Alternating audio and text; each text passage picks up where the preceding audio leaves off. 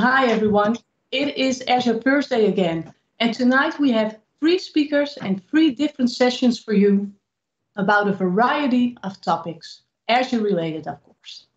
First, we have Martijn Baker. And Martijn is going to talk about how you can monitor enterprise data lakes at scale. Next, we have Menaka Basker Pillai, and she is going to tell us all about Azure network security. And at last, we have Scott Hanselman again. He's becoming a frequent guest at this show, and he's going to tell us how he finished migrating his blog to Azure. So, without any further ado, let's introduce our first speaker, Martijn Baker. Hi, Martijn. Hey, Sjoukje.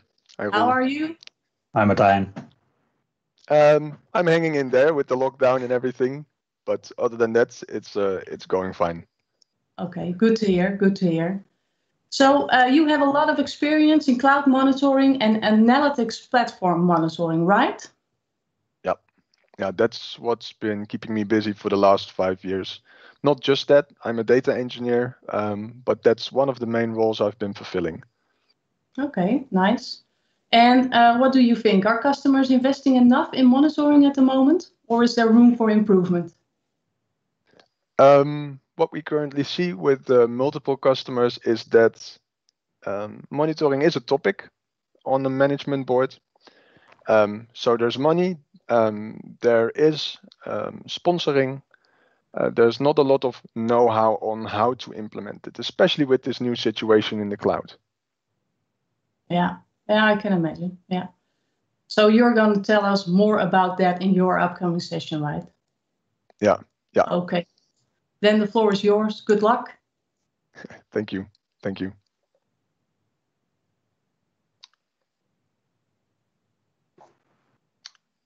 Share my presentation.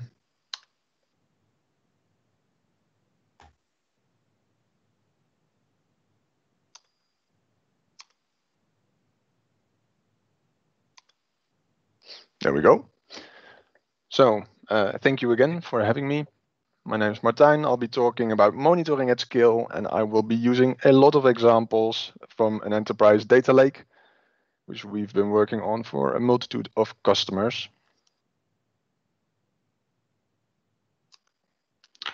Uh, this is me.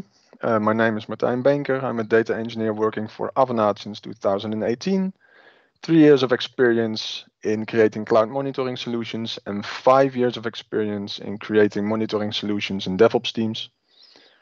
Um, when I'm not doing data engineering or monitoring, I love to go rock climbing.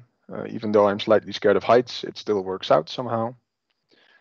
Uh, if people want to get in touch um, because of this talk, um, the only channel I have is my LinkedIn, uh, but feel free to drop me a line over there. And I've drafted up some session goals for tonight. There's three of them from high level to detailed level. My high level session goal is to get people listening to get familiarized with Azure monitoring capabilities and the jargon. On the mid level, the design level, I want to introduce some ideas on how you can create your own monitoring solutions um, my examples mainly focus on the enterprise data lake, but I'm sure it also applies to other uh, distributed solutions that you want to create in the cloud. And on a development level, since I am a developer, uh, I want to share my experiences on how to create, deploy, and maintain a solution, and also on how not to do it, um, because that's how we all start out. The first step for success is failure. Um, first, I want to talk about why it's relevant now to talk about monitoring in an analytics solution. Because just five years ago, I was still working on an analytics solution on premises where we had three virtual machines hosting Azure, uh, or sorry, SQL Server integration services on one of them to get data from source systems to our SQL Server database that was hosted on the second virtual machine. And on the third virtual machine, we had analysis services running, which is just an in-memory database or a pre-calculated database, depending on the model that you chose, um, which sped up end user queries for that dashboard-like experience. So three Windows VMs We didn't even cover them. Uh, that was the operation side of the company that I was currently uh, at, working for at the time. So the only thing that we actually had to monitor were our own designed workflows and software processes, and sometimes keep an eye out for available memory on the server or the, the utilization of the CPUs, but that was about it. Fairly easy compared to what we're doing now, because now we, um, for instance, implement Azure Data Factory. And Azure Data Factory uses two on-premises virtual machines to get data from an on-premise data source to the cloud. And we ingest that into an Azure Data Lake Gen 2 storage container. Then my Azure Data Factory will get a token from the Key Vault. So it can start a Databricks notebook. These could be either in Python or written in Scala, then does some data transformation on that raw data, and then it will load it into Synapse, or previously known as SQL Data Warehouse, as modeled data ready for consumption. And this is a, a very simplified diagram even of what we're currently implementing at customers. So we have multiple programming languages, being Scala, Python, T-SQL, and Synapse. We have a GUI in Azure Data Factory, uh, we have resources like Key Vault and uh, the storage containers, which both work very uh, different from one another. And we have those Windows virtual machines with Windows operating systems and stuff like the event viewer and other types of uh, performance metrics. So the complexity and at least the distribution is so much more complex. And each of these resources on, is on my critical path to get that workflow, so from raw data all the way to informational data to get that uh, complete. So if my key vault fails and keeps on failing, the business won't have their data in time. So it's crucial that we monitor each of these resources. With that being said, although the landscape might seem more complex, the process is still very simple. I want to know when something's going wrong. I want to be notified. I want to be notified when it's happening now, but I also want to be notified when it might happen in a week from now. That's also possible. And I want to be notified without having to look at the monitor all day, right? I want to get a push notification or an email or maybe an item on my backlog saying, hey, something's going on, heads up. As soon as I have that notification, I want to then identify what's going on. I want to find a root cause of my incident as soon as possible. And I want to make a clear distinction between what's a root cause and what's a symptom, right? If I get a latency alert somewhere in my data lake, experience tells me that that's probably a symptom.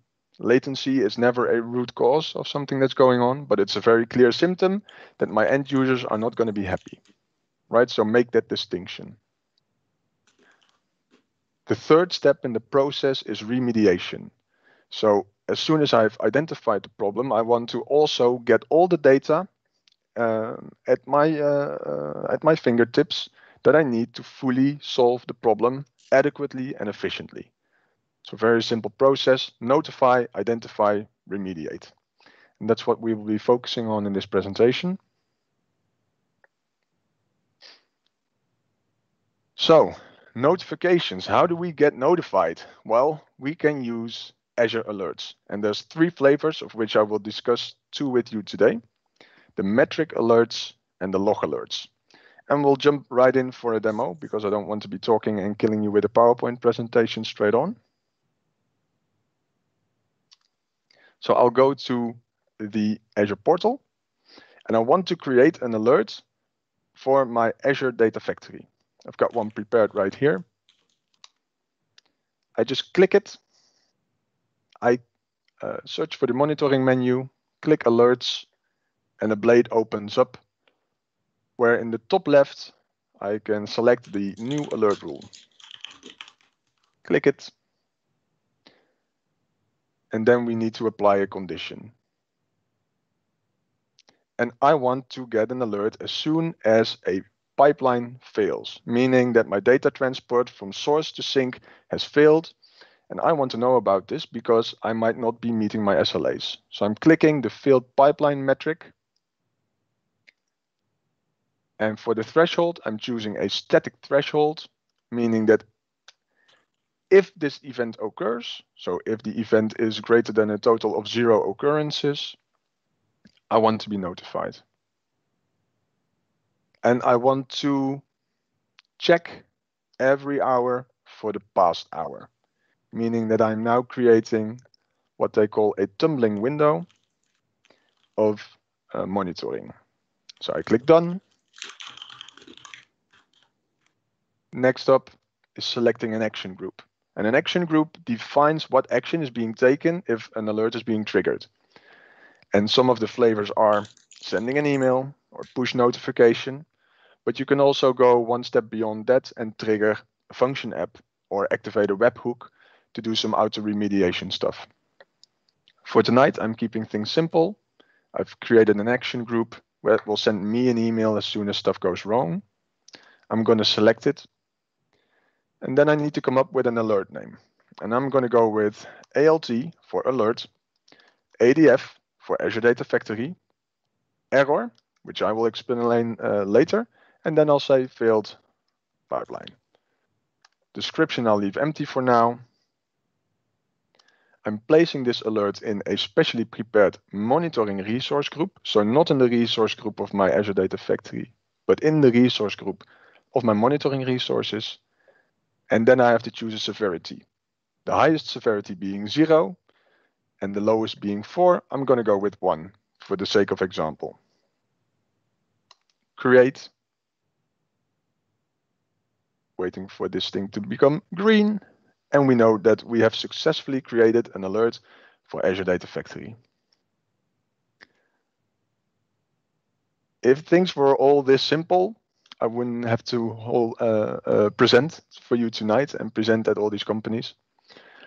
Um, yes, this was very simple. And that's also some of the stuff that I like about metric alerts. It's out of the box functionality. As soon as I have a data factory, I can make a metric alert to make sure that I keep a watch on this Azure Data Factory. It's easy to set up and it allows for dynamic thresholds. The last one meaning that I can um, use or utilize machine learning algorithms to set the threshold for me. So not a static one that I just did, but maybe I want to govern more resources. So I'll need uh, machine learning to see if I have any outliers that I should be alerted about. Of course, there's also stuff that I don't like, and that is that this metric alert is scoped to a single resource. This means that if I have 10 data factories that I want to monitor with this alert, that I'll have to recreate the same alert 10 times, one time for each of the data factories that I want to uh, that I want to keep in check. And it gets even worse because I'm not only interested in failing pipelines, I might also be interested in failing activities. Let's say I have five to 10 alerts and then 10 data factories, meaning that I end up with 50 to 100 alerts. That's not maintainable. Also, these metric alerts don't provide any option for custom alert logic. And I personally, but this is a bit more subjective, I admit, but personally, I find the ARM syntax pretty complex. So, Microsoft, help us out here. Well, first I want to have a look at a list for metric alerts. So on the left-hand side of the slide, you can see all the type of resources that um, you can watch and then have multiple resources governed by a single alert, like virtual machines, which is okay for our example, SQL databases, which I like, of course, and key vaults. But what I greatly miss is multiple resources like Azure Data Factory, Synapse, Databricks, storage accounts. I mean, usually have in my subscription over 10 storage accounts just by playing around with it. But also Logic App, Function App, App Service, App Service Plan, Kubernetes clusters, the list goes on and on. So we need something for this to monitor at scale. My solution, or what I would recommend, is the second type of alert, being a log alert. And I'm going to show you how this works with another demo.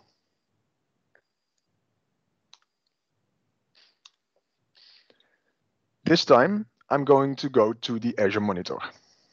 By searching it, it pops up in my list. I click it.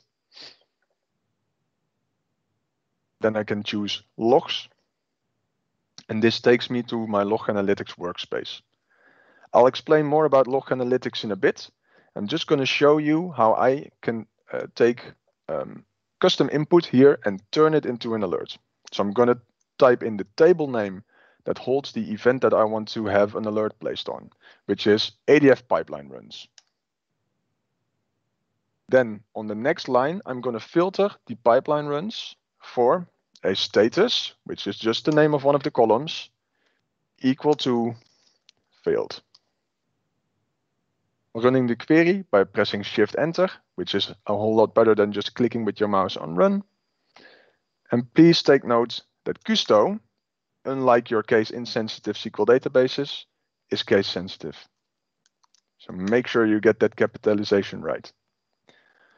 Now this query returns all my failed pipelines over the last 24 hours. I can also adjust the time range here in the GUI or in my query, which I will do now, where time generated is more recent than let's say six hours ago. Run it, and now you see that in the last six hours, there's no pipeline failure. I can then click New Alert Rule, and that takes me to the same blade we just saw, just slightly, slightly different. So we're taking that query as my alert logic. Again, I'm going to specify the threshold of being zero. So if this query returns a result, please notify me. You can see that the period in minutes it's set in the query, six hours, but we could also adapt this here. Um, so let's say two hours, I'll adjust the query and then the frequency also two hours. So every two hours, check if we have a pipeline failure. Say done. Again, we're going to add an action group that will send me an email if this occurs. We're going to specify an alert name being ALT for alert, ADF for ADF, error, which I will explain later, failed pipelines. Place it in my monitoring resource group same severity as while back and say create. We're creating the alert rule and it's done. If you look at my query, and I will zoom in a bit, sorry, I should have done that earlier. But if you look at my query, you see that I don't filter on a specific resource, meaning that each Azure Data Factory that logs to this specific table in Log Analytics will now be governed by this alert. So any data factory in my subscription that sends its telemetry here will now alert me as soon as one of their pipeline is failing. This is very handy, I think at least. I hope you think as well. So what I like about this is that customizable alert logic, but not just that, also that we can scope this to a single resource based on the query we type or multiple resources. And the ARM syntax is slightly um, less complex than with the metric alerts. So I really like these log alerts. What I don't like is that it doesn't allow any dynamic threshold setting. And it also requires a diagnostic setting as child resource, meaning that if I just provision Azure Data Factory without a diagnostic child resource setting, the telemetry won't end up in my log analytics workspace. And I will also need to provision that log analytics workspace in order for this to work. So it's slightly more complex to set up.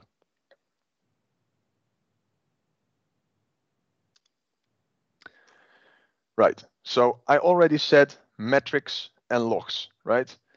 And um, in order for us to continue with the presentation, we need to establish a little bit of an understanding on the Azure Monitor product and these two types of data in the Azure Monitor product. So I greatly simplified the product overview in this slide, but Azure Monitor helps me to visualize my metrics and logs data, analyze, so search through it and help it help me debug it, and respond to it, like we just saw in the creation of that metric alert and that log alert. But what's the difference between metrics and logs? They're both databases. They're both internal to Azure Monitor.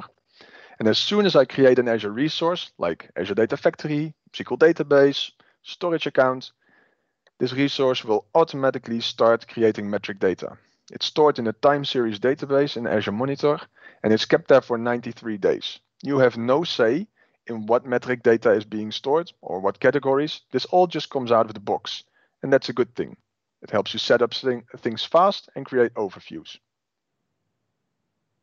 Logs, on the other hand, are very much more specific. I need a child resource on my Azure resource so that I can send this log data to my log analytics workspace, and then I can use it to analyze it using those, that Kusto query language. You also have these VMs that we host on premises to form a gateway between on premises and the Azure cloud. And these operating systems, if you install the uh, Microsoft monitoring agent on those VMs, they can also send their data to a log analytics workspace.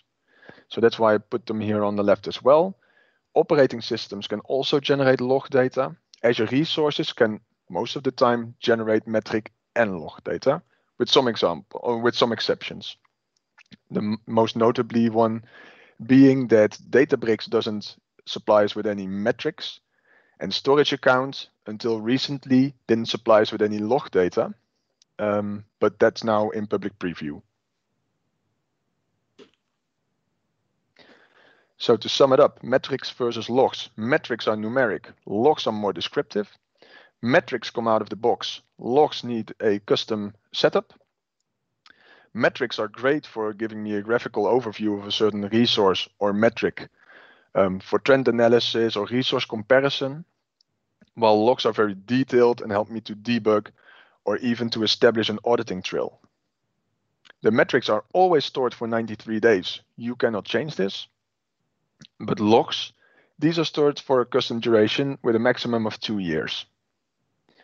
Metrics don't cost you anything apart from the costs that uh, the resource itself incurs.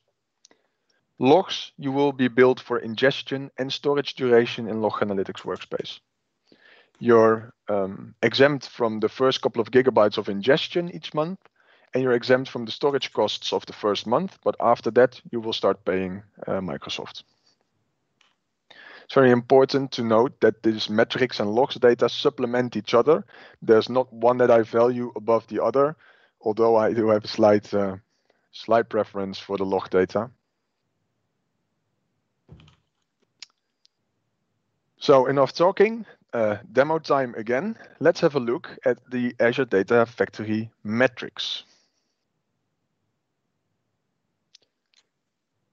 So instead of going to my Azure Data Factory resource itself, I again went to the Azure Monitor, and then I click Metrics here on the left-hand menu, which opens up uh, the Metrics Explorer. It's going to ask me for a scope, and I'm going to open up my analytical resource group with that one data factory in it. See, why can't I select multiple resources? You can upvote this, and you should after this talk. I click apply. I select a metric, being failed pipeline run. And I'm going to select a different uh, time window, being that of the last seven days. Click apply. And now I see that each of these days, my data factory, this is very small, so I'm going to read it for you. My data factory with the name ADF AT ANA dev um, was actually uh, running uh, in an error. So let's add another metric and compare this with what's happening on production. So I can click that scope. Click production, say apply and select that same metric, failed pipeline runs. And now we can see that the same is happening on production. Didn't start quite at the same time, but it happened a bit later. And I can even add a filter in the Metric Explorer saying, only show me this pipeline and this pipeline. This is about the most detailed level that we can get with Azure Metrics. So I can see the data factory and the pipeline name of my failing data factory and pipeline. And if I zoom in, I can keep on zooming in, but the data does not give me more information, right? I can just see the moment in time when the failure occurred.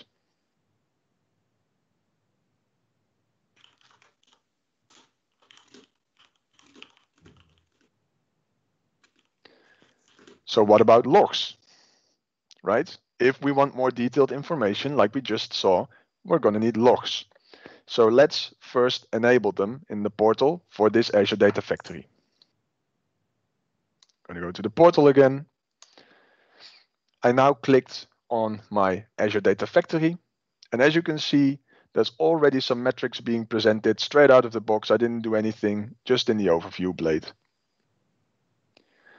I then click diagnostic settings on the monitoring menu.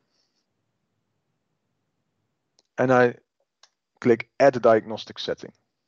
And I'm going to collect activity runs, pipeline runs, trigger runs, and all metrics. And this is where things get a little bit fuzzy. Weren't these also the metrics of this resource? Didn't we just see pipeline runs failing in the metrics explorer? How can they also be logs? That's a good question. I also struggle with it sometimes. There's no real clear distinction between the two. And I can even say that I want to send my metrics or my metric data to log analytics. So I can then query it using that Kusto query language. But here's also more. These uh, uh, SSIS um, logs that we can also gather. Um, I'm not clicking them for the sake of this example, but there's definitely a case where you could need this telemetry as well. I'm going to come up with a nice name for this diagnostic setting, logs, and I'll send them to a log analytics workspace, being this one. And then here, I get an option for a destination table. Now, this is my first error that I made uh, with uh, using uh, log analytics. If you gather all of your telemetry in the Azure Diagnostics table, you'll run into a limitation.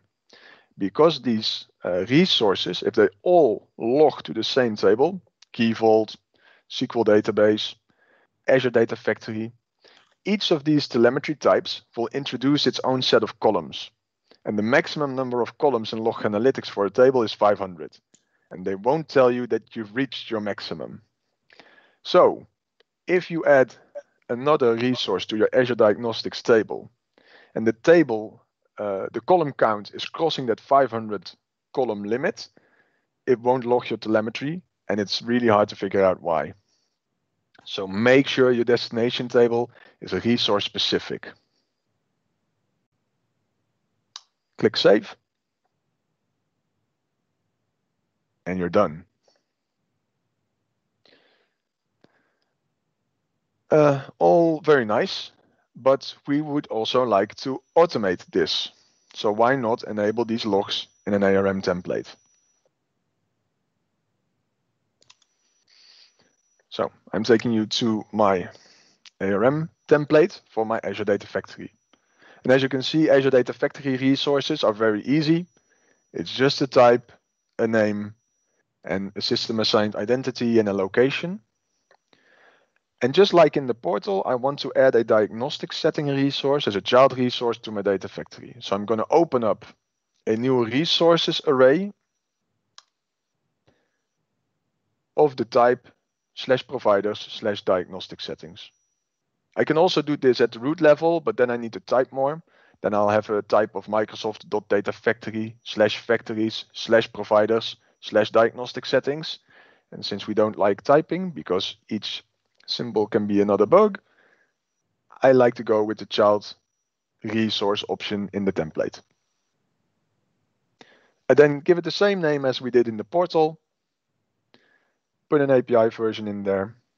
Make sure that it depends on the parent, because else uh, the API of Azure won't know the order in which to execute and provision your resources. And then in properties, you specify to which log analytics workspace this telemetry is being sent. You also have to indicate that we are using a dedicated table type. And here in the logs and in the metrics array, you see the exact same selection I just made in the portal. And that's it. That's all there is to it. You can do this for most resources.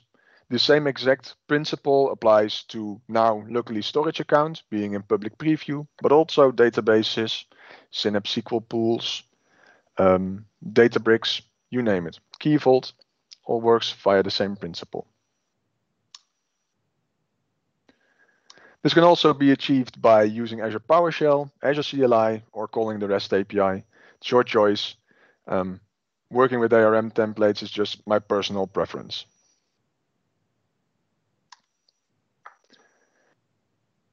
So also when identifying the problem, we can now, because of this child resource, that diagnostic setting, analyze those logs in our log analytics workspace using that Kusto query language.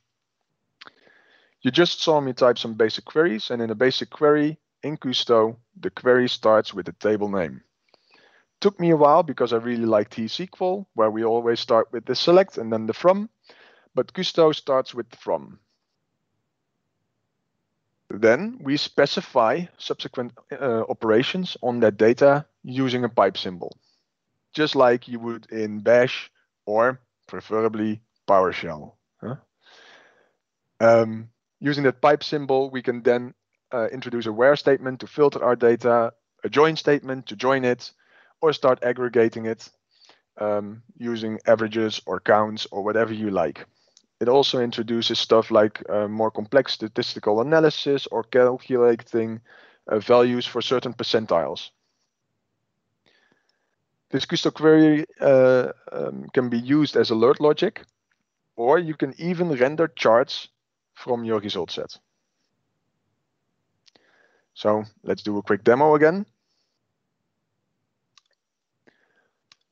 I'm now in my log analytics workspace. And on the left-hand side, I'm going to click logs, which will again open up my uh, query editor.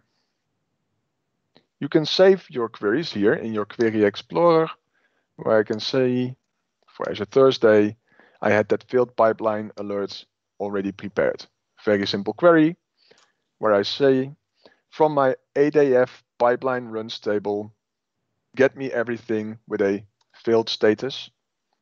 And if I run this, you can see that the time range has been limited to the last 24 hours, um, which is cool because that maximum storage duration was 730 days. So make sure that you limit your, your queries to get quick response times. And this is a simple example. But what is cool about Kusto is that you can go and type any query you like. So I want to show one um, uh, one a query which is slightly more advanced.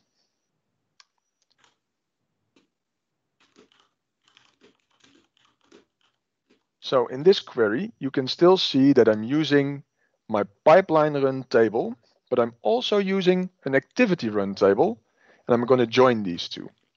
And the way I'm joining these two is by creating an object, just like we did in T-SQL with common table expressions, but now I'll have to use the let keyword. So I'm going to create an object which is called activity runs, which is filled with the result set from the query activity run, where status is failed. And using the project keyword, I'm going to take one, two, three, four columns from that result set. So activity run is going to get all my activities that have failed and take these four columns out of it. And I'm going to rename the status column to activity status. And this is the way I'm aliasing columns using the equality operator. Now I'm going to take the pipeline run table. I'm going to join this object, so not the table, but the object, on the resource ID, meaning that they're both um, member of the same resource, in this case, my Azure Data Factory, and on the run ID, meaning that the activity was part of the pipeline where my pipeline status is succeeded and my activity status is failed.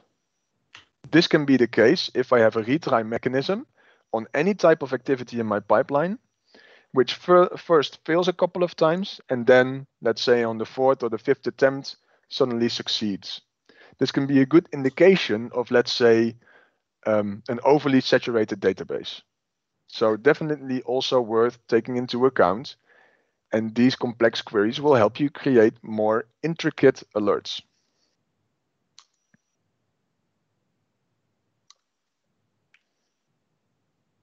So we've gone through visualization options, alerting, but what should you alert on? What should you visualize on any type of monitor or workbook that you're trying to develop? Well, this is where SRE, Site Reliability Engineering from Google, will help us out a little bit. Um, this practice tells us that if you monitor each of your resources based on these four golden signals, you'll establish a good monitoring baseline um, for your entire landscape. The four golden signals being latency, traffic, saturation, and errors. And I'll plot them on, uh, on some examples. Latency could be in an analytic situation, a pipeline that took 50% more time today to complete than yesterday. I would like to know, because this signifies that something's going on. Traffic could be the number of concurrent connections that people are making to my database, or the number of concurrent API calls that my storage account gets to read or write data. Saturation is like its um, its its its nephew or its brother. It's closely related to traffic, and it signifies the percentage of utilized resources compared to the total amount of available resources, like the percentage of consumed memory or CPU on a VM, but also the number of concurrent connections to my database versus the maximum amount of concurrent connections that this database can cope with. And errors, I've been using that one as an example throughout the presentation, is for instance failing pipelines, failed API requests, any type of uh, response in the 4 or 500 range in HTTPs. If you implement these throughout your landscape on each resource, you will have a perfect baseline to get going and you will make sure that you have a lingua franca, a common language, no matter what the underlying programming language or operating system is, anyone can monitor now using these four golden signals.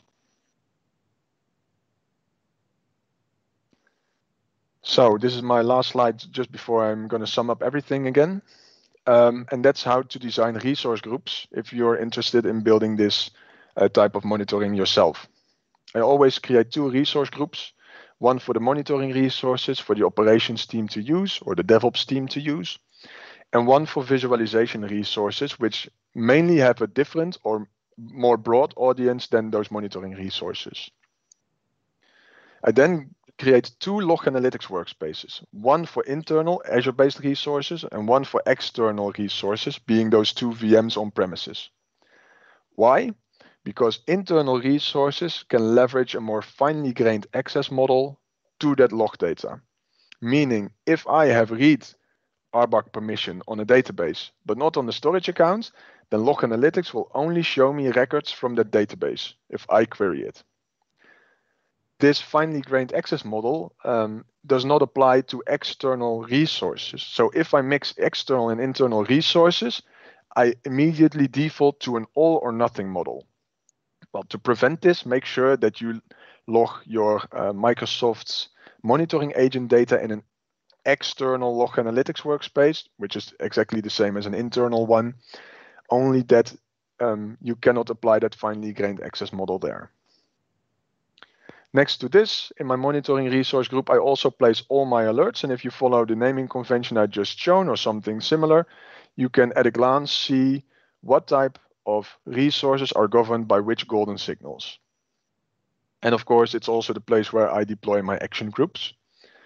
And then in my visualization resources group, I make sure that almost everyone that's interested in following the performance, the availability, and the predictability of the resources is able to see the list of dashboards and workbooks that we created.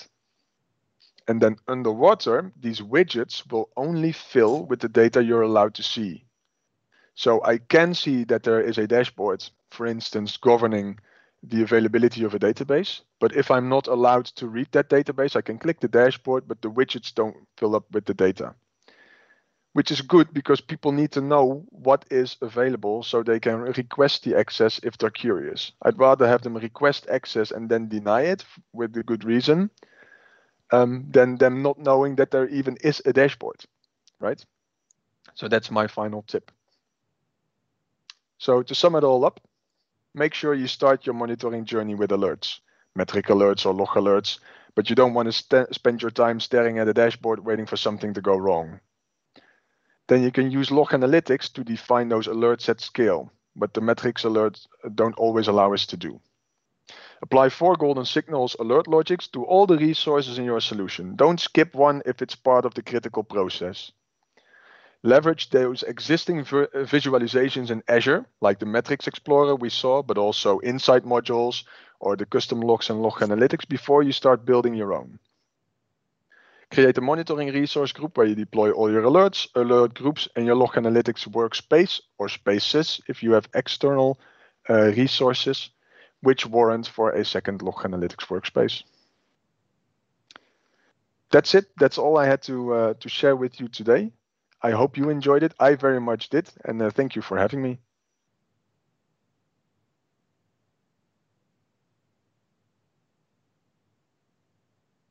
Great, Martijn. Thanks. Awesome session. You're welcome. Good Here examples. we are. Yeah. Martijn, that was that was very cool. Uh, this monitoring solution seems like a big topic.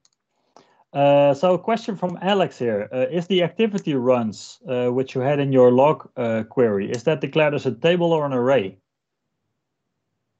Um, so I fetched them from a table and I'm not sure what type of object the let keyword is making out of it. It's if if he's familiar with a common table expression or inline view in T-SQL, I think that's best comparable. But you could also use let to just store a single value. Okay, thanks. Uh, question directly for me. Uh, the queries themselves, can they also be defined as uh, something like infrastructure as code? Yeah. Um, so um, I have a um, GitHub repository which I can share. Is there a possibility to share that stuff? Because I have templates prepared where you can deploy log analytics, uh, log uh, uh, alerts, uh, metric alerts, everything I just discussed, action groups, it's all in there. Okay, cool stuff. Um, so uh, the monitoring solution and uh, Kusto query language, um, uh, seem like big topics. And do you have any uh, advice for us on where to start if you want to learn this, uh, learn learn to use these uh, these uh, components? Yeah, yeah. Um, Microsoft offers great tutorials on um, starting off with Kusto.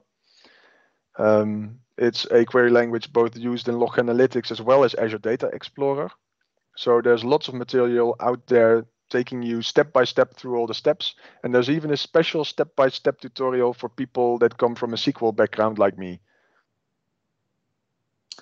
Okay, nice. Um, I had another question about the auto remediation you, you talked about.